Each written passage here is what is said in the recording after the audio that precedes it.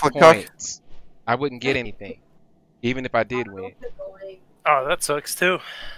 Were you joining like 1500, 16? Yeah, I was running my. After I, I noticed that, hey man, I just keep losing. I have to start running my own. I was scared to try again. It was like a little too late then. So when I ran with you the first time and I heard you target calling, I knew you would be a good addition to this team. Oh my god. Yeah. we we we hit it off the first time we met. As as a matter of fact, I recorded those games. I'm recording these. I might want to watch those later. Yeah, uh, it's I want to see those killing blows. uh, YouTube. Friendly. It's just sad because like this this is you are a typical example of a really good target caller slash team lead that you know you couldn't get ahead because you had to keep pugging people. This is why we don't pug. I got it.